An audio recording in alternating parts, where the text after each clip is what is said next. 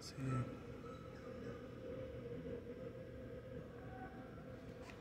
One thing that fascinates me the most is this right here. These are all made out of teeth.